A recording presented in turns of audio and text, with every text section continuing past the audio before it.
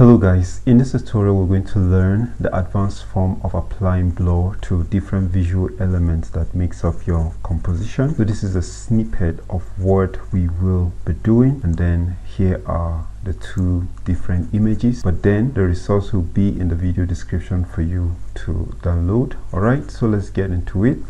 So this is more or less our background so all I'll need to do now is to drag this image here so both images were downloaded. So both the png and the jpeg this png you can see came without a background okay? But then even if it comes with background you know what to do. We've treated that in a couple of videos how to use the pen tool all the options to remove your subject from the background. So i'm just going to position this around here. So we have a couple of work to do you can see we need to blend this with this image okay? Before we're going to apply the blur so let's do that quickly. So I'll position it right about here is fine. So all I'll need to do now is to convert to smart objects convert to smart objects this as well we just okay let's let's okay let's just convert it to smart object okay? So this is the motorcycle. Now we're going to come over here and then we're going to apply curves okay? So now that we've applied curves we need to adjust some settings here before you see the visible change. Okay when I drag here you can see the changes are starting to happen so I'll just undo what I did. So now I will need to clip this because I want this effect to affect just the motorcycle. We don't want it to affect the background because we're trying to blend the motorcycle with the background alright so you can zoom closer to see. So I'm actually using the control on the keyboard as well as the scroll wheel to go to the left or to the right. Then you can use your alt to zoom out and in. Okay so now that we are here so I could see the changes visibly. So we're currently on RGB so I'm going to make some changes here. So I'll just make a point around here just drag it down. Okay so I'll make a point around here.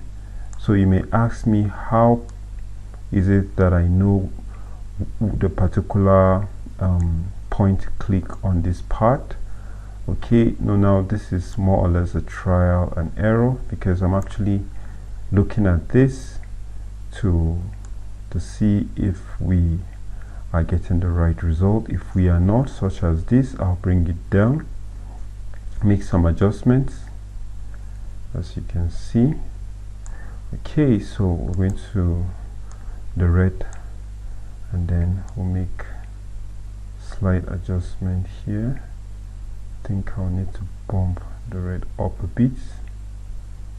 Okay so something like so. Okay I'm going to bring it down.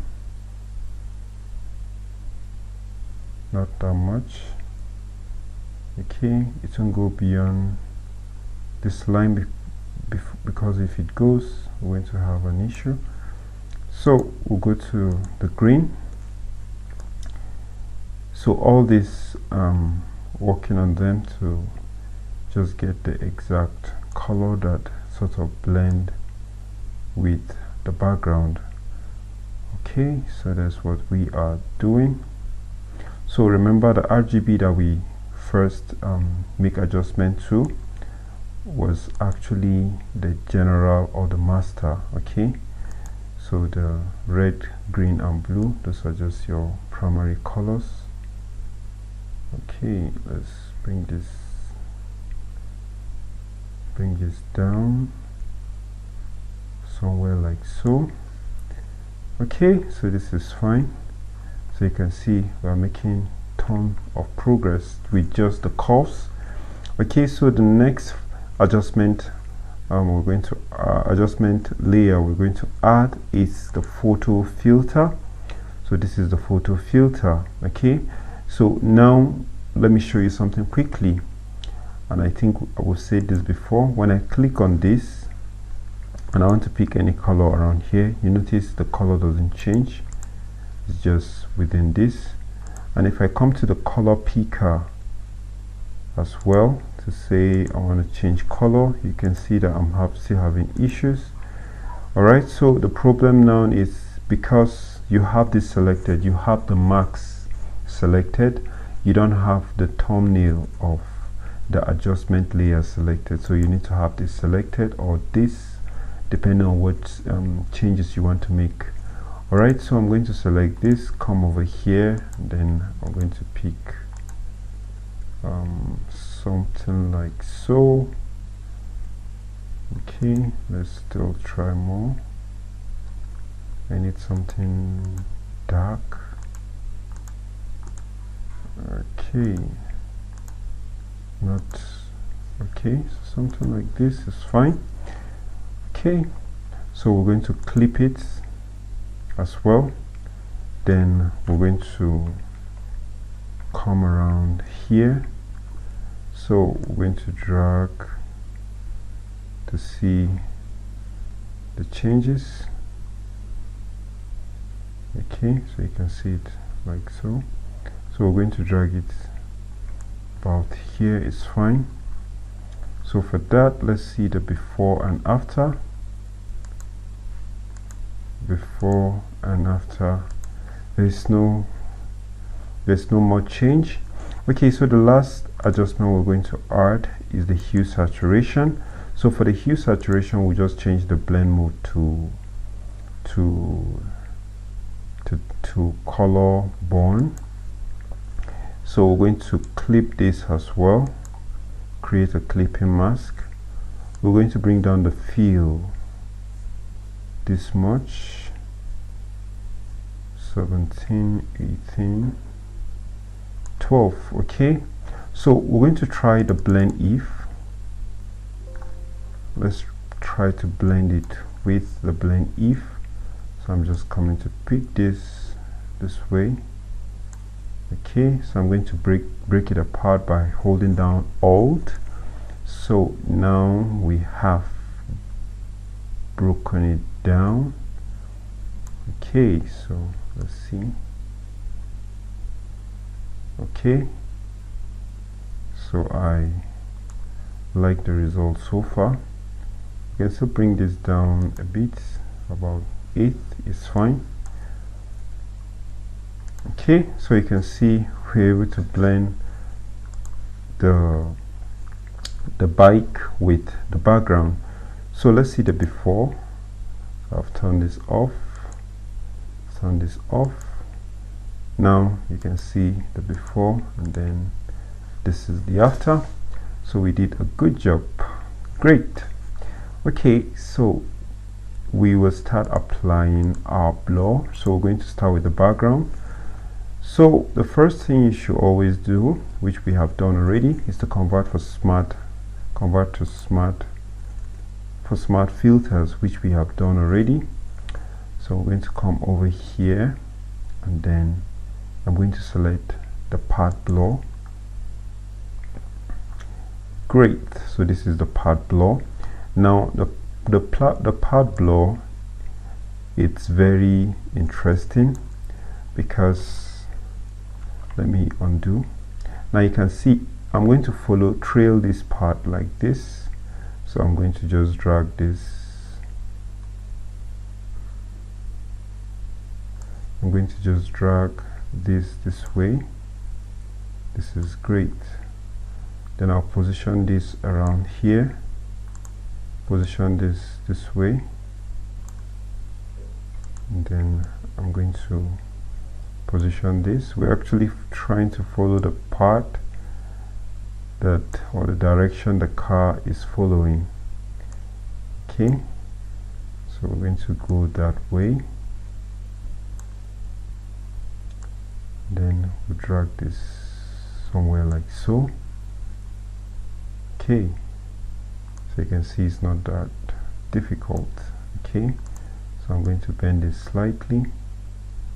Bend this slightly. Then um, I'll just drag this up bit like so. Okay.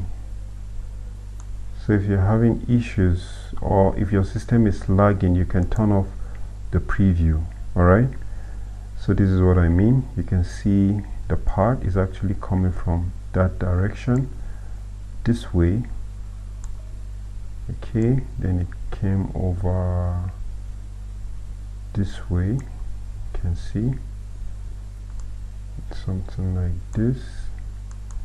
Then let me add another like so. Okay so let's go let's go this way.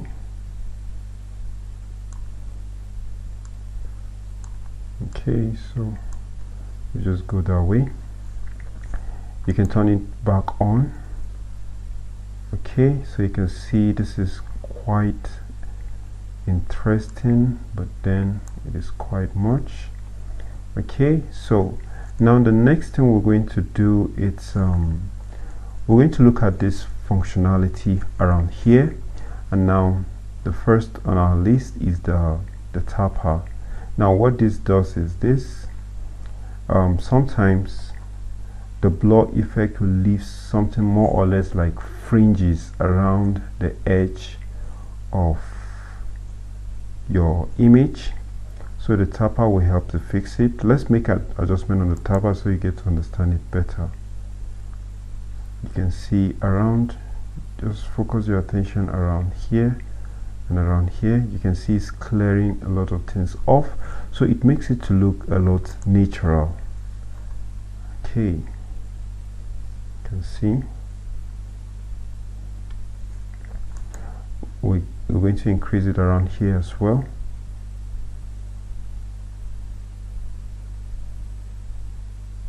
Good. Okay you can see we have taken care of a lot of things here. So here is not as blur as what we have here. So it has helped to clear it off. So around here as well we're going to click this point just like we did here let's drag this this way.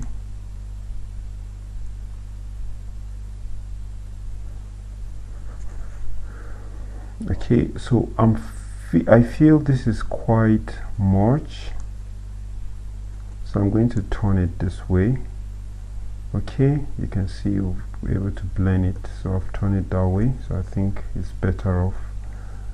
Okay so I'm going to make adjustment to the taper okay so something like that.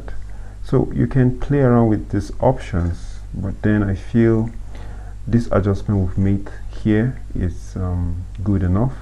So I'm going to to zoom out.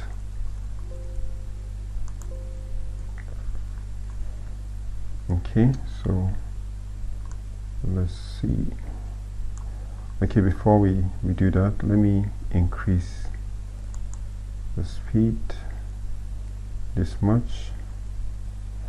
Okay so I'm going to click on OK this time around.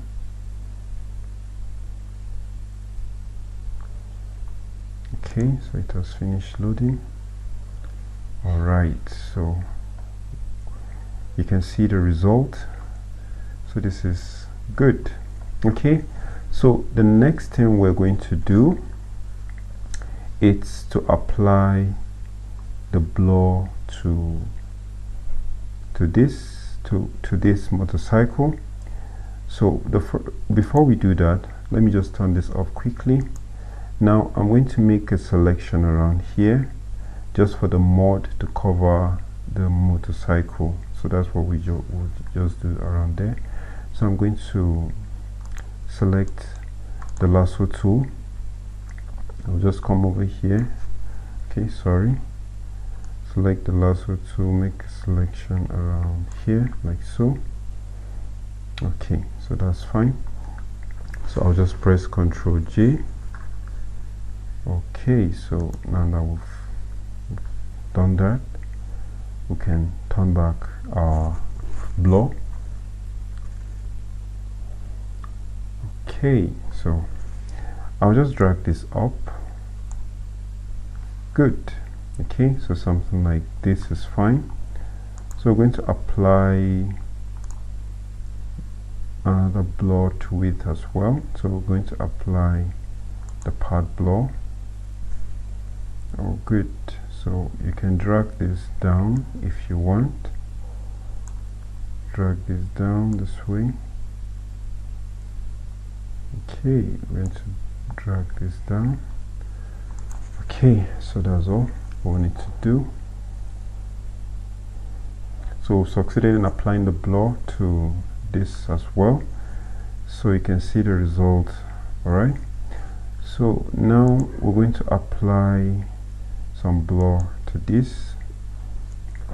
Okay so let's go ahead and do that. So all I'll need to do here I'm going to add sorry just come over here and then I'm going to apply the the spin blur so the spin blur we're going to apply to the wheels. So I'll just drag this here. So notice your cursor keeps changing. So when it changed to this particular arrow let me zoom. You can see this cursor. Okay so it's telling you that I can actually drag.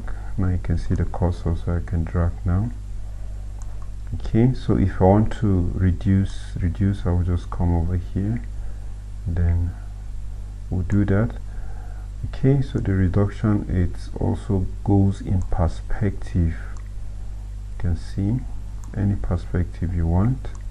So it goes in that direction. So okay so let's see this. Good.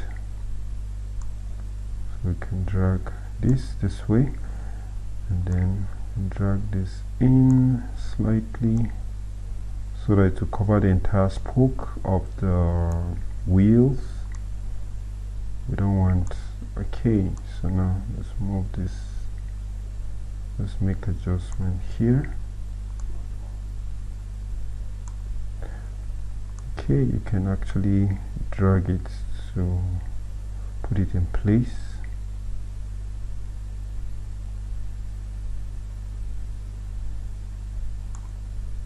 okay. Now let's turn up the preview. Because it's sort of lagging behind. So if you're experiencing that same issue you can just turn up your preview then turn it back on. Okay so you can play, play around with the angles. If a particular angle is not okay for you. Now you can see that some of the the spoke are visible so that's the reason why we need to drag this up completely okay? So you remember to do that so that some part of the spoke will not be out because when the motorcycle is in motion the spoke get to spin okay? It doesn't leave any part behind so that's the essence. So now we're going to add another one down here. So all we need to do is to click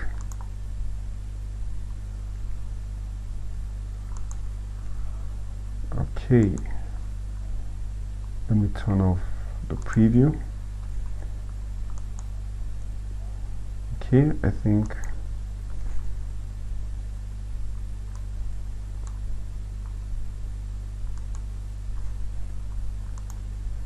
okay since we're having an issue let me just click on ok for now. Okay we'll still go back to width so I'm going to double click here as well okay so let's add. Good. So if you have that similar issue please you can just click on ok then come back again. I don't know why I'm having that particular problem. Okay so we're going to drag this. I'm going to drag this like so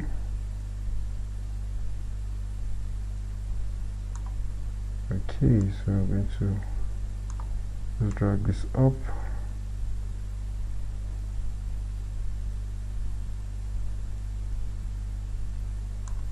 Okay so drag this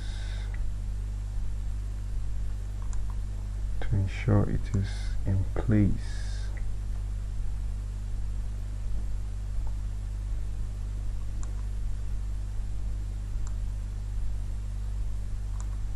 okay good. Alright so now that we've done that you can adjust the angle. Okay you can still adjust it if that is not okay for you. Okay if you feel there's much you can make slight adjustments. Okay I think that's okay. So we're going to click on OK alright so now you understand that you can see some part of the spokes are out. We just go back to adjust that. Okay so now I'm just going to click around here. Okay so some of it is out. So we're going to cover it so I think that's good enough. Okay so we can just click on OK for now. So I think we are good. Right so now that we've applied this here so the next thing we're going to do is to reveal the part the handle that is holding the tires. I don't know the exact name or what it is so if you know the name you can actually tell me in the comment below this what is what the tire is sitting in between okay? So now I'll select this and then we're going to erase some part. Now that's the beauty of having mask. So some of the part that we don't need and that is why it is also non-destructive. So we can make adjustment here or we can choose to delete the blur if we don't want it. So you can see I'm revealing this part with the help of the overlapping square. So it's set to black. So remember to set yours to black. And now the default to set to black is the is the D key on your keyboard. If you press D assuming you have selected uh, another color around here to set it to default just press D. You can see okay? Now to swap in between the white and the black you use the X key the X and D X and D all right? So X is to set to default then X is to D is to set to default then X is to swap okay so now that we have it on black we can just remove the blur around here. Good. So we don't need the blur around here. We don't need the blur around here as well.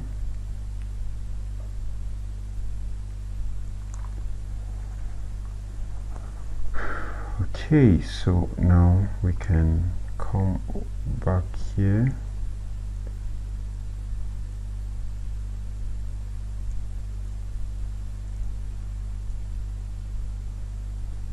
so we're going to erase some part around here.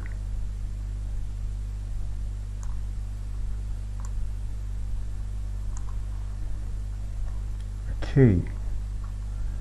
So that is good. Okay so now that we've we're able to do that the next thing is to apply blur on the entire motorcycle and to do that is equally simple. All you need to do just double click on where you have uh, apply your blur this two blur so now we're going to apply the path blur so this pin blur that we've added just open this. You can see now we've added the the path blur so you can just drag this this way. Because the the motorcycle is going in the up direction. Okay so we're going to go this way. Just drag this okay? That amount is fine. Good. Okay so now that we've we've done that you can make slight adjustment here as well. Okay so I'm going to click on OK for now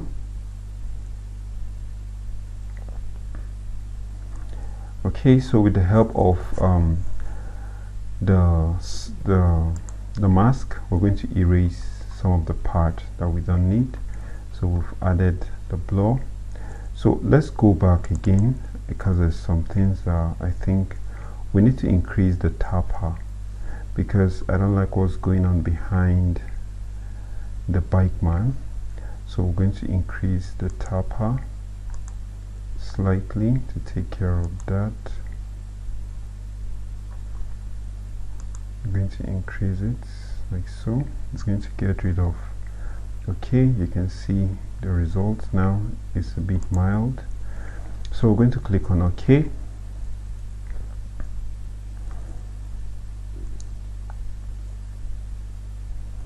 good. Okay so now that we have that all we need to do is to select and then we're going to erase some part that we feel are not necessary. Okay so around the back we're going to leave we're not going to add marks to it. We'll leave it as it is around here because that's the beauty of a motorcycle or someone that is in motion. But for the remaining part we're going to make it visible okay? Because that is how blur it's um how, that's how blur works so the the guy the motorcycle or the, the the object in motion is usually not blurred but then it's, it still have some blur effect on it. We're going to undo this part. Okay so I'm going to have this this way. So on the okay let's undo this. I'm going to go that way. This way as well let's undo. Okay so you can see what we have. Okay I think this is good enough. Okay so this is how you can apply the spin and the path blur and you can try other options here. You can see that we have other kinds of blur you can try that one out to see the results that you will get. Okay so see you guys in the next tutorial